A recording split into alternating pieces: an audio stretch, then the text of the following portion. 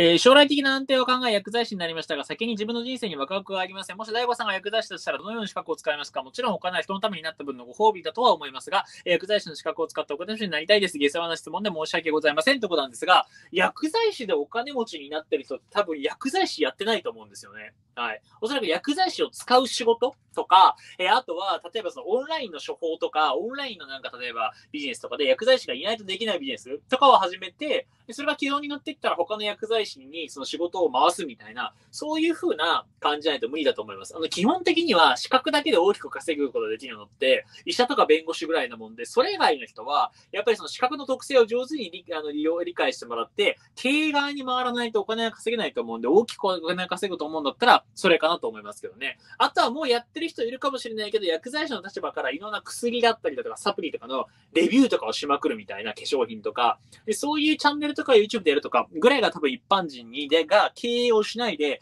できるギリギリのラインな気がしますね。